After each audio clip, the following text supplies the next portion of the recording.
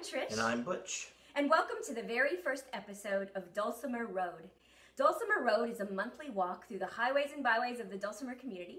Whether you play the mountain dulcimer Or the hammered. or any other instrument that's related to the dulcimer community, Autoharp baby. it's about music, it's about people, It's about tab. not so much about tab. There'll be a little tab. We're going to tell you where we've been, Sultry. we're going to tell you where we've been, we're going to tell you where we're going, and we're going to talk about the people who make this community so wonderful. In other words, it's going to be about you. But since this is our first episode, we thought we would actually talk about us, uh, where we've been, especially in the last year, and uh, some of the people we've got to meet, and of course, our favorite dulcimer players. Dulcimer Road is going to let us take you with us. We're going to take you to festivals and jams. We're going to include you in house concerts. We're going to let you know about live events. Like the Christmas show we did back in December. yes, which you can see live online. Every month, we're going to take a few minutes where I explain a technique or maybe a fiddle song, something that'll make you a better dulcimer player. It's called Do Try This at Home. Let's take a look at one right now.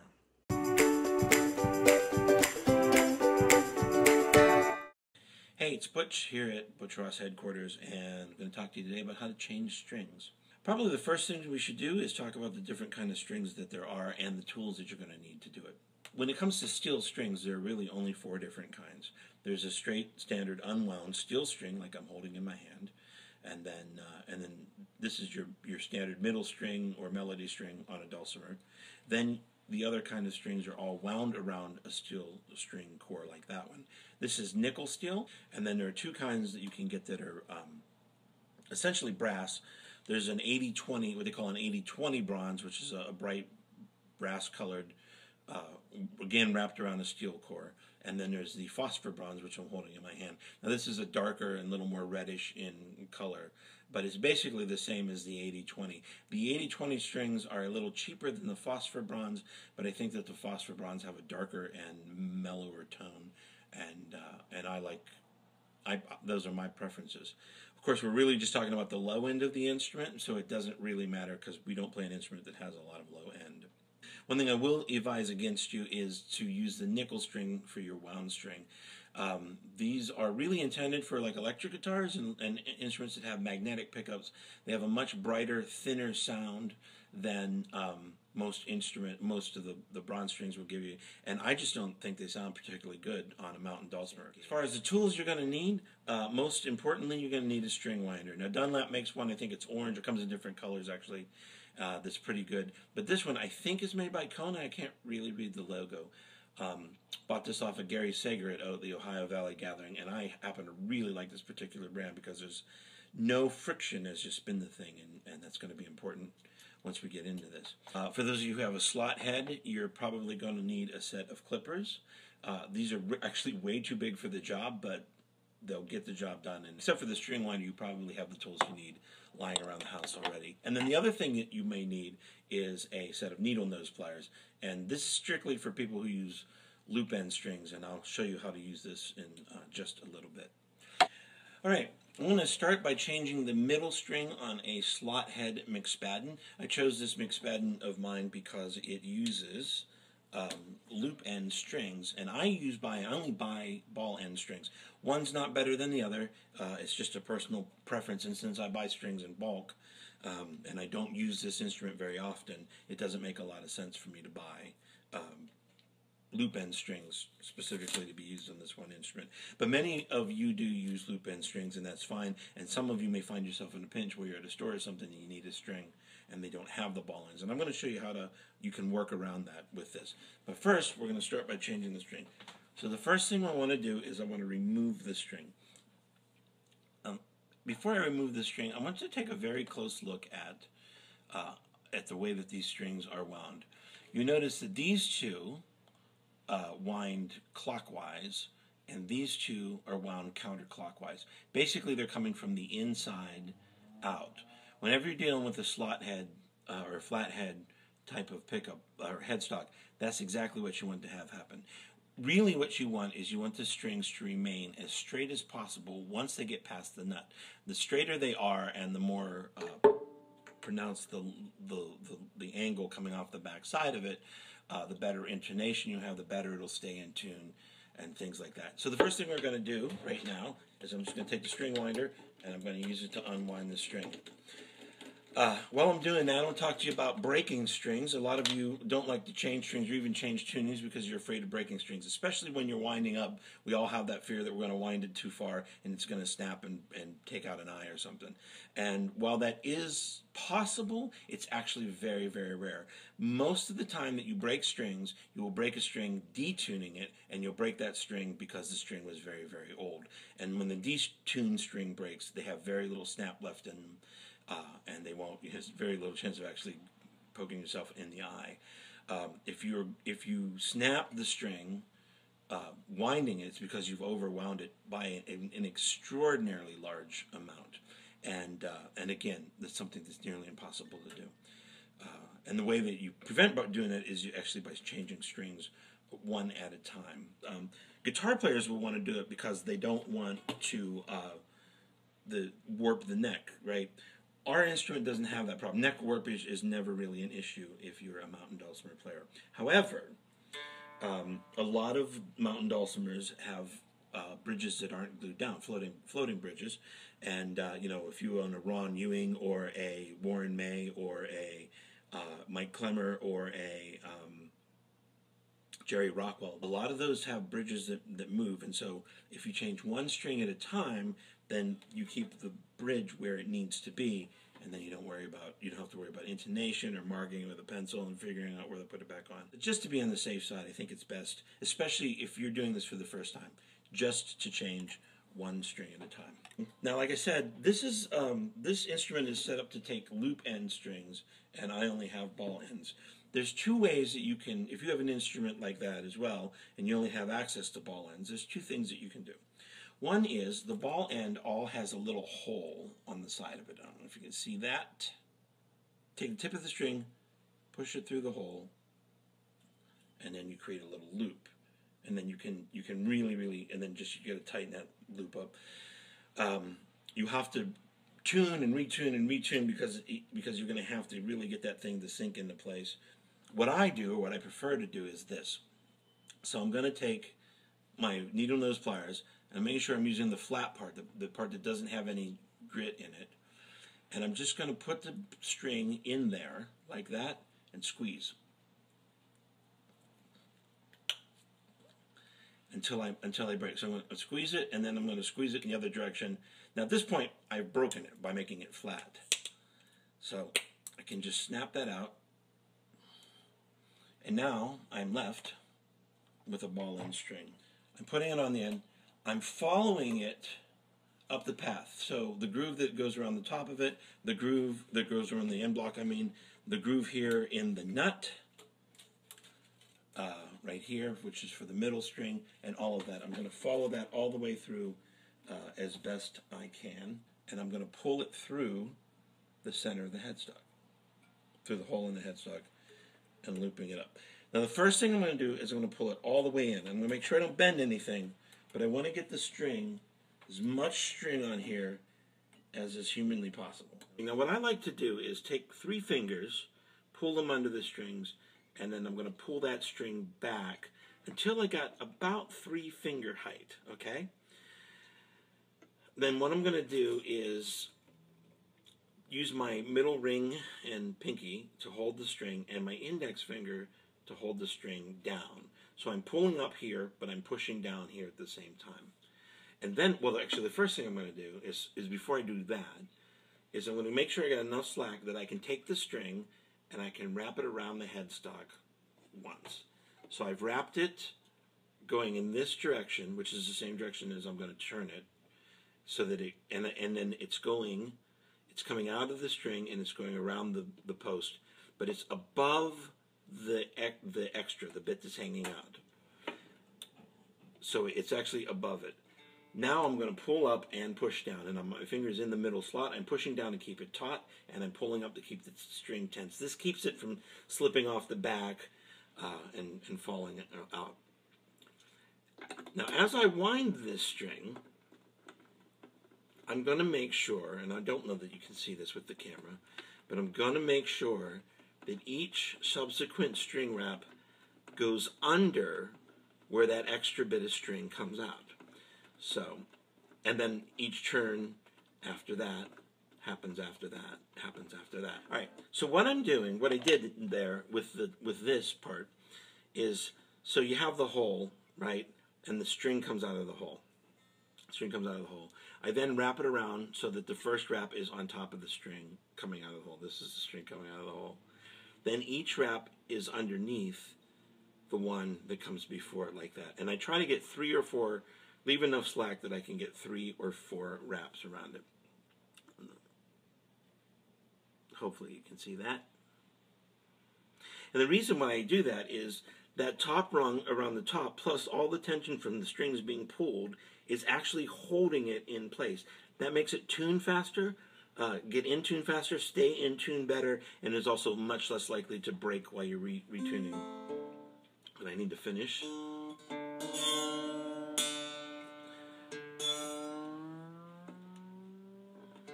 Once you get a little tension,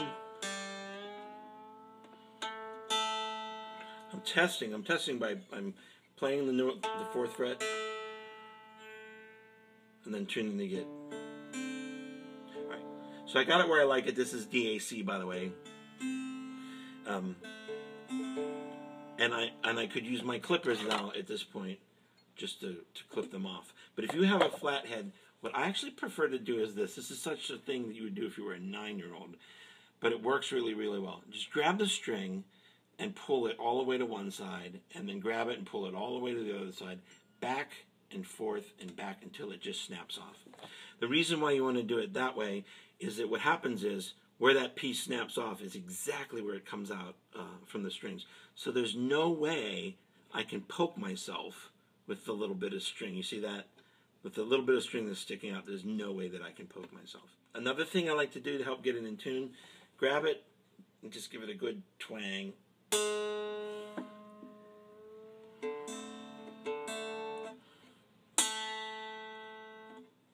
New strings can handle this. And a couple of times just gets all the kinks out and you'll really be able to get it in tune and keep it in tune. Well, that's it for part one in our two-part series about how to change strings. Tune in next month when I'll show you how to change the strings on a scrollhead dulcimer. And no, I won't say that name right either. Thanks for watching.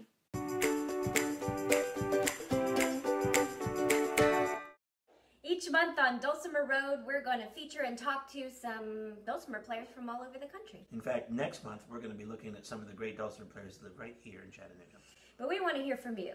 Be sure to like us on Facebook, subscribe to our YouTube channel, or email us your ideas, questions, or comments at dulcimerroad at gmail.com. This year has been a fabulous year it's been chock full. And when we look back at pictures this week about all the things we had done and the places we'd been, pretty amazing. It's pretty amazing. And so much of that has involved you. And that's one of the reasons that we've loved doing it. It's been neat for me to be a part of it and go along with Butch and meet you and hear all the great dulcimer music um, that there is around the country. So some of the most fun things we've done this year have been house concerts. I like house concerts. All musicians uh, like house concerts. What's great about house concerts is that you get to be up close and personal with your audience. As an audience member, it's neat for me to be able to watch that happen. And um, what's so great is that the hosts are always so tremendous um, with their hospitality and, and having food and drink. And it's just such a, it's like, it's a party plus, and I love that. Um, I dig, the other thing I like about house concerts is the, kind of that breakdown of the fourth wall you know, uh, when I started performing, I always dug the idea, the lights and the and the monitors and being on stage and the audience is, is out there. But it's it's actually a lot more fun to just be in a room. It's almost like you're having a conversation. It is. It's so intimate, and I think people don't always get that experience. And for you know, for performers, I, I just think it's a fantastic opportunity to, you know, I think be human in a way to your audience because they're so close to you. They get to see kind of the magic happening. Um, one of the most fun house concerts that we had this year, um, we got to feature one of our students, Ken Hicks. Ken Hicks, yeah. And um, Ken opened your house concert at the first annual Chattanooga Ukulele Festival. That's right. We uh, did a, a ukulele festival here in Chattanooga up on Signal Mountain, and it was the um, it was a, how, how many people were there? We had, I want to say we had at least 50 people. Um, we had a jam on Friday night at my house and a chili dinner that was so exciting. We had people coming in with um, with the bass ukulele and um, providing um, that support for brand new ukulele players. We had a, a piano player come in that's a friend of ours and start playing, and so it was just a great time. And then and then you taught all those great classes the next day. And then we had the house concert to kind of close out the night, and uh, yeah, it was a lot of fun. Yeah, so it's it's fun to be able to do something in our own backyard, in our own home, as it were. Um, Speaking of, we got to do the Chattanooga Dulcimer Festival this year, which we haven't hasn't happened in a couple of years, and that was a lot of fun. that was a lot of fun. Dan and Angie Landrum do such a good job at, at doing those, and we've known Dan and Angie for a long time, and they're pretty fabulous. We got to uh, we got to play along with um, Aaron O'Rourke, Aaron O'Rourke. Steve Seifert, Katie Moritz, and Lisa Ferguson. Lisa Ferguson, and who will be um, on the show next month. That's right, she will. And so that was that was just great fun. I got to teach my first voice class at that Chattanooga festival. That's right. So my all my great students uh, can sing "The Lion Sleeps Tonight" quite beautifully. You're gonna be teaching that at KMW this summer, I will be teaching a little bit of voice at KMW. I'm really looking forward to that. So and um, that's your first time teaching it. that's right? my first time teaching there. I was able to go to KMW for the first time and take my, my little girl Ella, who had a great time uh, at the kids' camp. And we just enjoyed spending the week with great friends and meeting new ones and just the the energy and the, the momentum that is Kentucky Music Week is pretty amazing. You get to hear some of the best in the business, as it were, and just have a great time. Kentucky Music Week is a, is a really is a once in a lifetime experience. Except you get to do it every year. I told my students is this happens happening to me, but I know that it happens to them too because we've had this conversation years and years. And on Wednesday, on Wednesday you you think you think why did I sign up for? I'm never doing this again. Right. And on Thursday you're like, oh man, there's only one more day. Like it, it happens every year. I've been doing like this is my this is gonna be my tenth year, and it happens every single Yeah, year. it, it's just so great. And I can't fail to mention the theme days. Ella had a great time being a hippie and a zombie and whatnot. And, and Nancy Barker just does a tremendous job putting this festival together every year.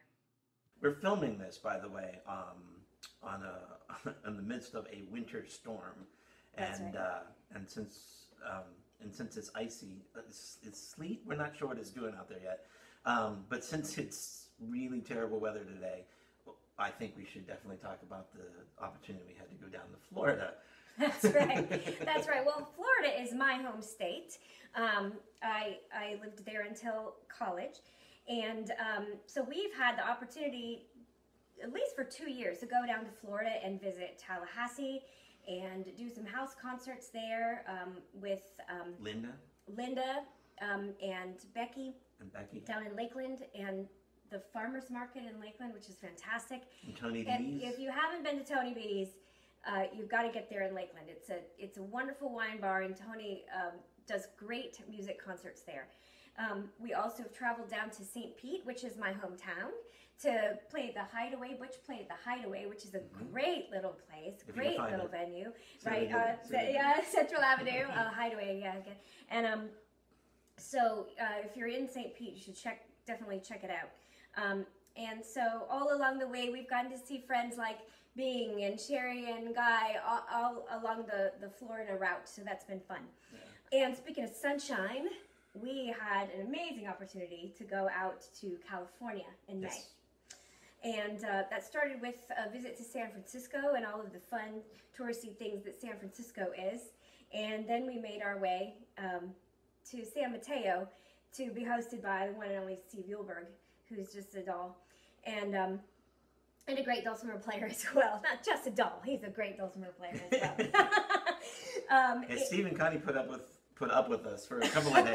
put up with us is, is- I mean, And, really. um, I mean, you can probably tell putting up with us is the key word. And they live in San Mateo, and we got to take day trips up into the city to do the touristy thing. And then we were at the the uh, Berkeley Dulcimer Festival, which is an awesome festival held at the uh, Freight and Salvage coffee house, which is a really awesome thing. It's really fantastic, and Deborah, Ham- Deborah Hamrist does a great job putting all that together. Mhm. And it started with a great concert. One of the neat things for me about going to Berkeley was meeting um, Janet Herman, who did a did a session on Jean Ritchie's music for children, which was a great introduction for me to Jean Ritchie and really who she was. It was right before she died, so it meant a lot to me to have had that acquaintance. So then, when I was able to meet John Pickow at Kentucky Music Week, that became very important. And it was neat meeting John because we're both choral people and choral directors. So, so that was a neat connection. One of those neat, unexpected connections you make when you're on the road in this community. You know, last year I'd meet a lot of people and they say, "Man, you're just all over the place this year," and I would think I didn't really feel like I was traveling all that much. But the reason why I felt like I wasn't traveling all that much is because I didn't spend as much of it in the car. I spent all of it really on airplanes. I think I've flown more in the last year than I've flown in the last five, and and certainly, if you count the amount of actual amount of hours I spent getting to and from England, I've spent more time in planes than in, in probably the last ten years. You had a kind of an unexpected adventure when a friend asked you if you would drive up to Canada. So tell us a little bit about that experience. My buddy Tim Cofield is a um, is a uh, musician, songwriter, and a videographer, and he called me up out, just out of the blue um, when I was in Florida. As a matter of fact, he called me up out of the blue, and he said, uh, "Hey, do you want to go to Canada with me and, and, and do some touring?" And I said, "Sure." This was a Friday, and he said, "Great." Pick me up in Minneapolis on Wednesday. and I said, okay, but we're taking your car. so, tons of video equipment and instruments later, hmm you arrived at the Canadian border and tell us about that adventure. Yeah, well, it's a 16 hour drive to Minneapolis, so I broke that up over two days. And then there was another six hour drive on the backside of that to International Falls, which is right at the top of Minnesota, to cross into Canada. And we were detained for three hours because they couldn't believe that two guys with musical instruments and twenty thousand or thirty thousand dollars worth of video equipment uh, were there on vacation. Right, it doesn't sound suspicious at all.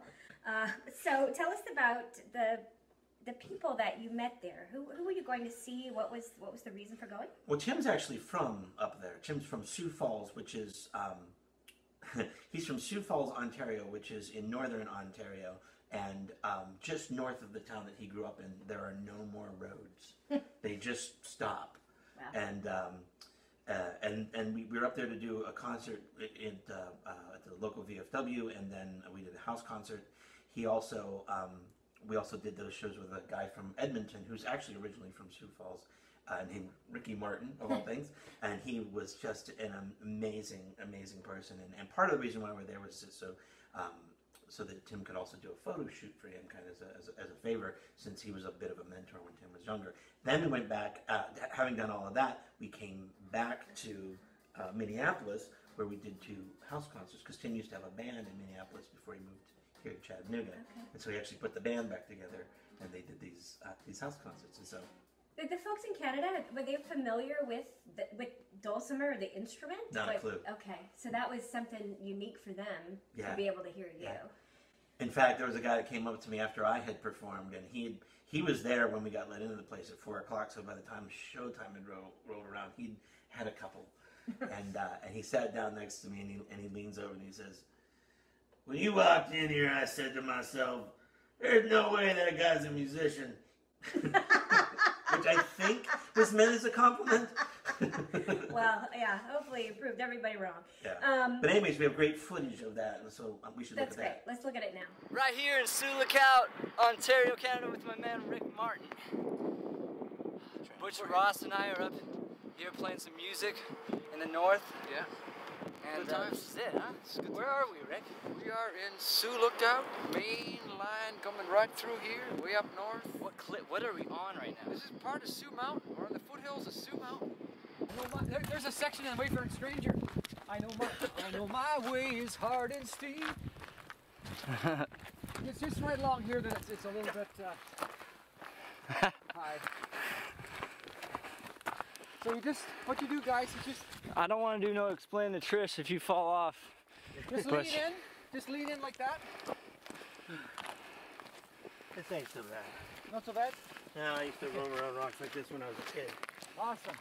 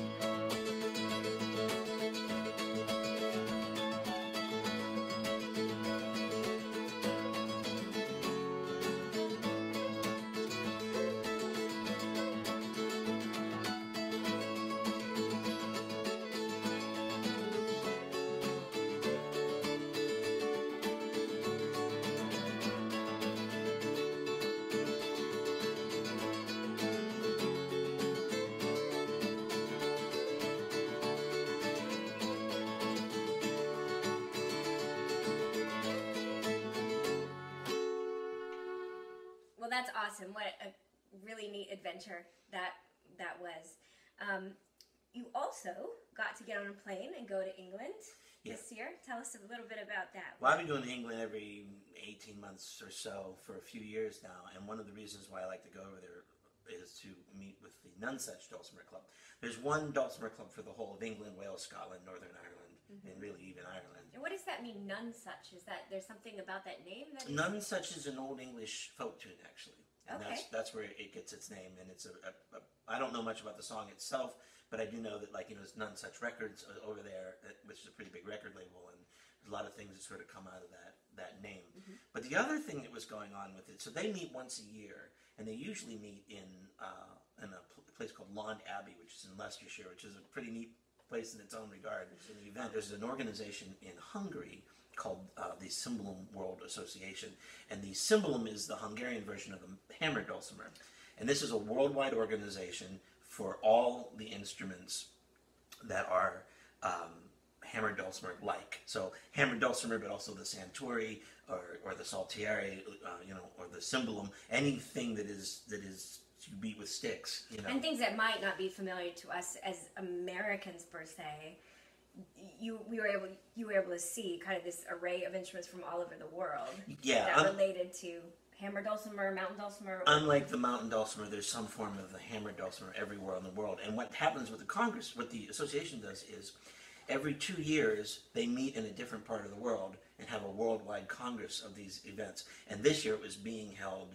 Uh, it was being held in England, in a little town south of Worcester, in Worcestershire, right. um, uh, called uh, Great Malvern. And Great Malvern is uh, where uh, Elgar uh, lived for a while. C.S. Lewis lived Right, there for right. a little while, and it's also where Tolkien was inspired to come up with the concept of Middle Earth. wow, like that's fabulous. So we stayed in Hogwarts, uh, basically, Okay. this building that looked like Hogwarts, and uh, and there were this all of these people from from all over the world. And what's what what and I, this is the reason why I'm going to go. I don't play hammer dulcimer, but the reason why I wanted to go and be a part of, of this thing was because you see these people from all over the world, right? They don't they don't have any common language they can like except music, right. and so you see all of this amazing stuff happening. So what sometimes we think of it, it being kind of cliche to say music is the international language, but really you saw it firsthand. This Yeah, is exactly. exactly what it was. For example, let me sh- let me show you this clip real fast. Okay.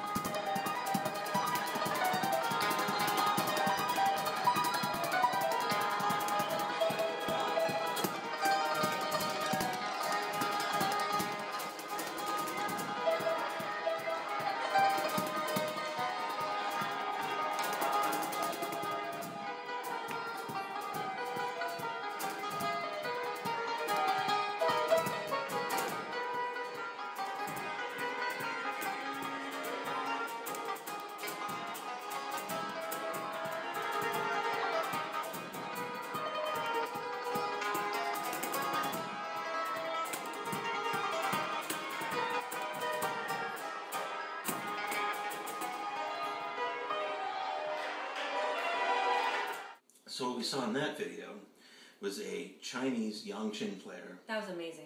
who is from. He's actually teaches in Beijing. He's from Western China. He's a Muslim. He was playing with a Taiwanese kid who was playing the cajon, which is a Latin percussion instrument. Right.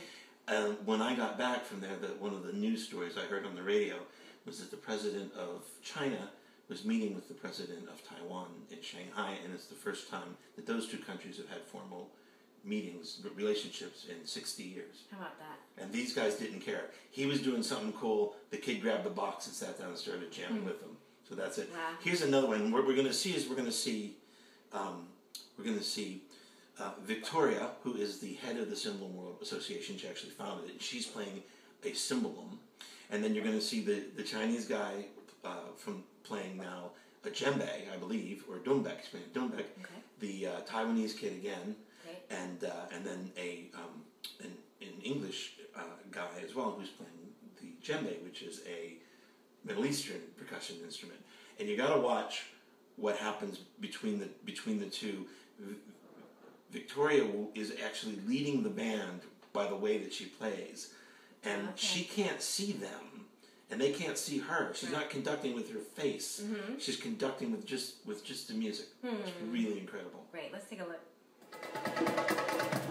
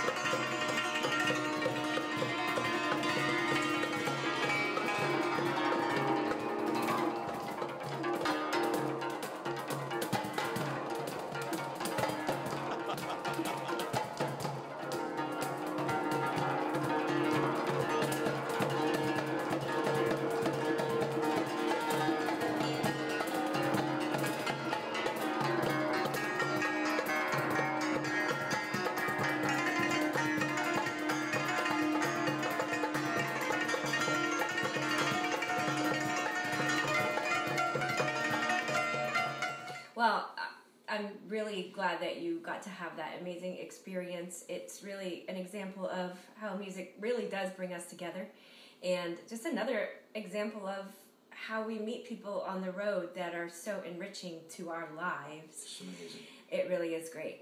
We had a great time over the holidays. And one of the most fun things that we did, at least for me, was doing our first ever Butch and Trish Very Merry webcast. We did it live on Concert Window, and we invited bass player Dave Schwab and guitarist Hera Paper to be our guests. And one of the most fun things about that concert, although concert window concerts are occasionally and often done without an audience, is that we invited a live studio audience to be a part of it, and Yeah, I so it think was like- everybody had a good time. I thought it was great. Uh, uh, you know, again, I've seen you know Steve and, and Bing and Steve Eulberg all do um, how, you know, concert window events, and, and they're a lot of they're a lot of fun. But I, I Yeah. just personally knew it would be I would be better if there were people in the room. right, So me too. we invited some friends over, did it like a little Roger Williams house concert. yeah, it was it was like my personal Perry Como moment. And so we had so much fun that we are planning on doing another one. And this live concert window experience will be Trish and Butch's St. Patty's Day Spectacular. and we're going to do that on Tuesday, March the 15th. Like before, it's going to be a live webcast with the studio, uh, with a house concert uh, audience. We're going to invite um, some, there's some pretty good, well, some great Irish musicians here in town, and so we're going to invite some of them over to do a couple of tunes with us. Yes, and I only wish my grandmother and grandfather could be around to see this because they were they were um, very proud of my grandfather's Irish heritage. so this will be a lot of fun for us. So I hope you'll join us, and we'll tell you more about that on our Facebook and online. And of course, the last thing I want to talk about uh, on this particular uh, episode is something that didn't happen last year, but actually happened just a, just a few days ago, and that, of course, would be Kentucky Winter Weekend. And Kentucky Winter Weekend is I would describe it as a mini Kentucky Music Week. There's tons of classes to be taken over the weekend. They're all kind of um, uh, packed into this really fun and educational weekend, and there's some great concerts that go along with that. One of them was one of the most collaborative concerts I think I've ever seen um, at a festival. And people like Andy Young and Dave Haas and Rick Thum and Steve Seifert and uh, Kat, Kathy and Dave. Dave, Kathy Barton, and Dave Herr, yeah. Right, we're all all a part of this, and I and the way that everyone played music with each other was very special. Butch was able to end the concert with one of the Beatles tunes that I think he plays tremendously well, and is always a crowd pleaser. And I'd love to show you that video now.